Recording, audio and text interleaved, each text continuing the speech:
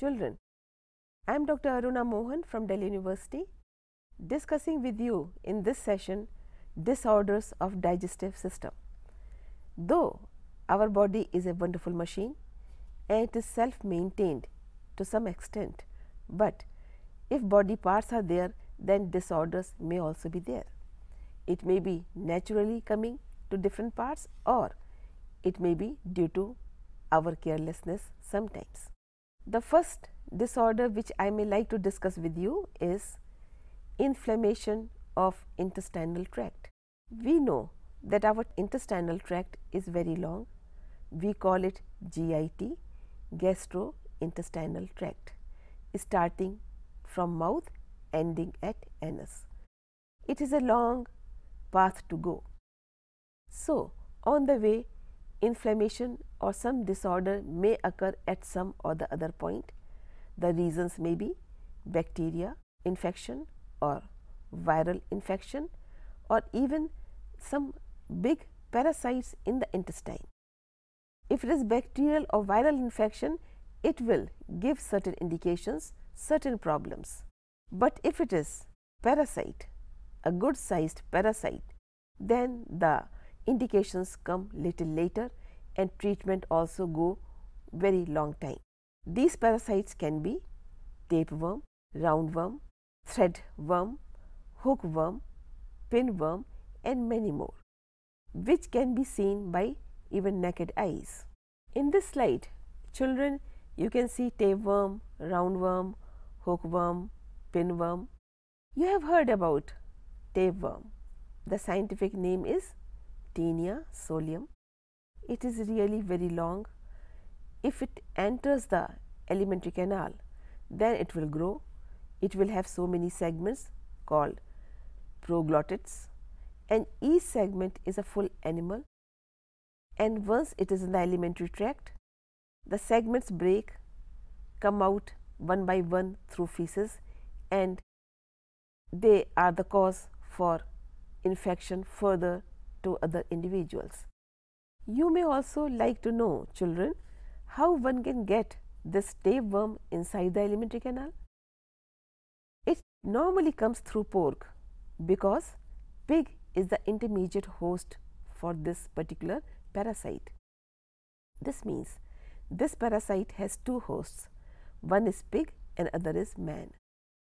So, it will complete its life cycle in pig and then along with the pork if not properly cooked it reaches our intestine and once it reaches the intestine its mouth has hooks and suckers with which it makes very firm contact with the internal lining of the alimentary canal and lives happily there. Food which we eat becomes his food as well.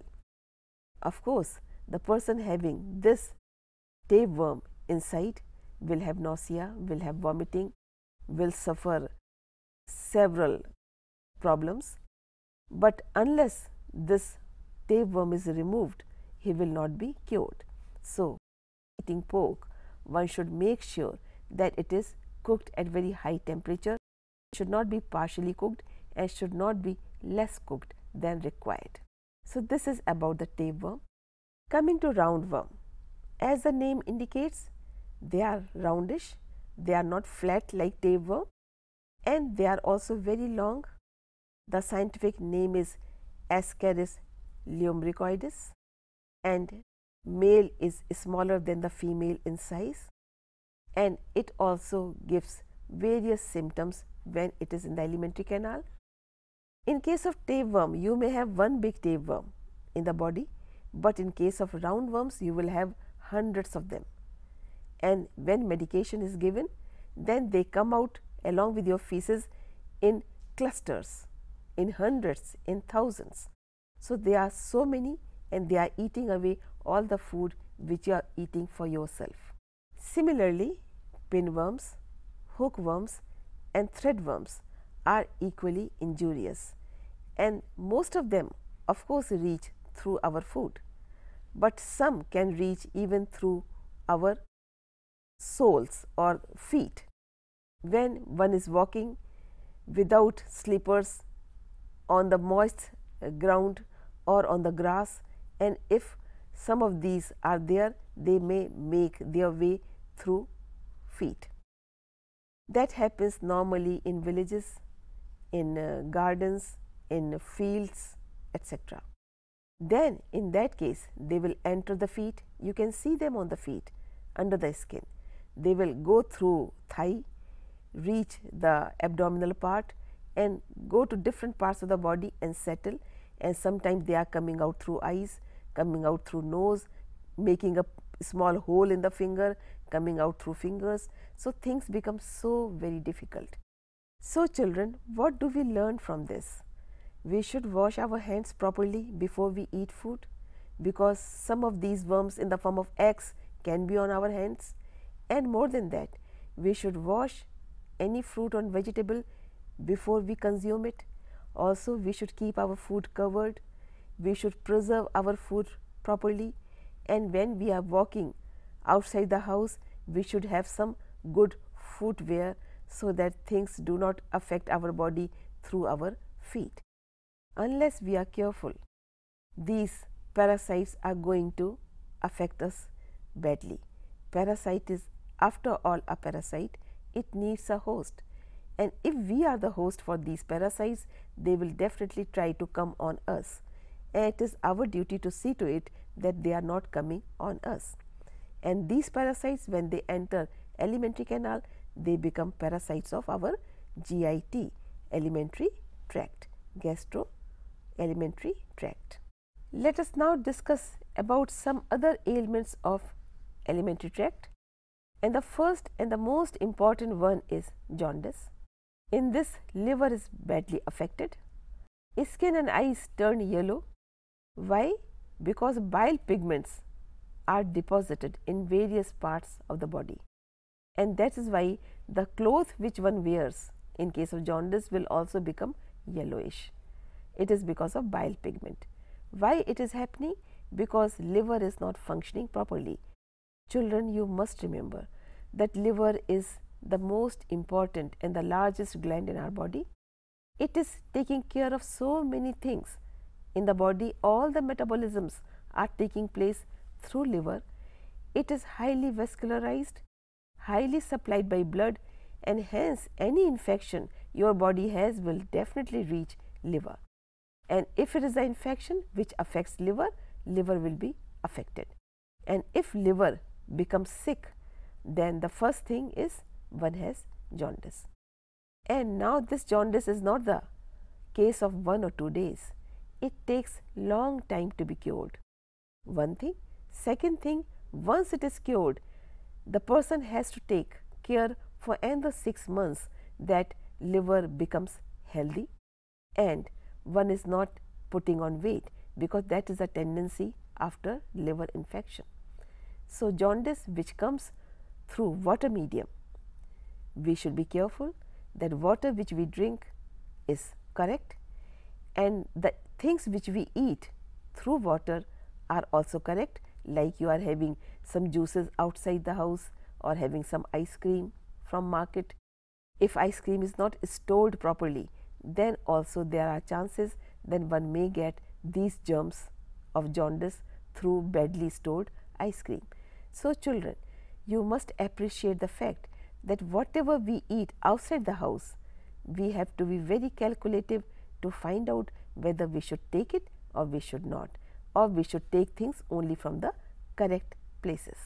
Next disorder I would like to discuss about vomiting. Children you all are very familiar with vomiting. Sometimes or other we do it. It is ejection of stomach content through mouth. Why? Because vomiting center in medulla is stimulated. It is reflex action which is controlled by a vomiting center in medulla and it initiates with nausea before vomiting. Children, you must have realized sometimes when you feel like vomiting, you won't start vomiting immediately. First you will feel difficult, then you will feel nauseatic, then you will feel that you are having hunger for oxygen, then you will feel that you are not feeling like eating, you are feeling against food and after having all these feelings you will go and vomit. So, vomiting is a process which takes little longer to come. And once it comes then you are vomiting the content of the stomach. So, first thing you must realize that vomiting does not come out just as simple as throwing out stomach content, it starts from brain, from medulla part of the brain, then reflex action coming to stomach, then feeling of giving out or throwing out and then you are throwing out the stomach content. So, you are doing something which is against the normal process. The normal process is you eat food, it goes down to stomach and vomiting is from stomach you are throwing things out. So, this vomiting is the indication either there is some infection in your stomach or in the intestine or you have overeaten or the food which you ate was not compatible with your body nature or it was very spicy or it was wrong kind of food. Mainly it happens if it is infected food. This is one part of vomiting which you must understand. The second part is when you are vomiting only contents from stomach are coming out maximum from small intestine the initial part the content will come out never the content of rectum or large intestine will come out through mouth because there is a valve between small intestine and the large intestine which will not allow content of large intestine to come out through mouth. Those contents of large intestine will come out only through anus. Is it not a very good arrangement? So, we do not get that bad feeling that uh, some bad thing is coming out through mouth. We know the food which we have eaten is coming out through mouth and that is about vomiting. Diarrhea is another disorder of our alimentary tract. In this there is abnormal frequency of bowel movement, increased liquidity of fecal discharge and reduction of absorption of food. What do we understand from this? If there is abnormal frequency of fecal movement that means if we are going to toilet once or twice a day in place of that we are visiting toilet 10 times a day that means we have diarrhea. That will also mean that our fecal matter is dilute that means we are losing water and that also means that reabsorption or absorption of food in the small intestine will be less because we are throwing it in a diluted form. So, we are eating food, we are digesting it to some extent, we are not able to absorb it fully and before that we are throwing it out. We are throwing more water out also. That means, we will have shortage of water in the body, shortage of digested food or absorbed food. So, if we are suffering from diarrhea, two things will definitely happen. First thing we will feel weak. Why? Because we are eating food, we are not able to absorb it. And other thing which will happen, we will feel dehydrated because we are throwing more water through fecal matter. So, diarrhea is injurious and that is why it is advised that if child has diarrhea, give him more of water, more of electrolytes in the form of sugar and salt or give a solution of sugar and salt so that person is not suffering of dehydration and not suffering of electrolyte deficiency. And the disorder which I may like to discuss is constipation. It is opposite of diarrhea. When bowel movements are slowed and irregular, so feces remains for longer time in the rectum. So, more water and electrolytes are absorbed and hence feces becomes very hard and when we give out hard feces it is constipation. Last point in this session is indigestion whereas food is not properly digested. The reasons may be several like inadequate enzymes, the enzymes are not produced properly or there is food poisoning or we have eaten more than required or food is very spicy or the food does not suit the body properly whatever the case may be, if there is indigestion, one will feel difficult, digestion will not take place, hence absorption will not take place, hence assimilation will not take place. So, final thing will be that what food we have eaten is not utilized by the body. So, we should be careful, we should not pass through indigestion condition. So, in this session we have discussed about disorders of alimentary canal and with this we come to the end of the session. Thank you. Música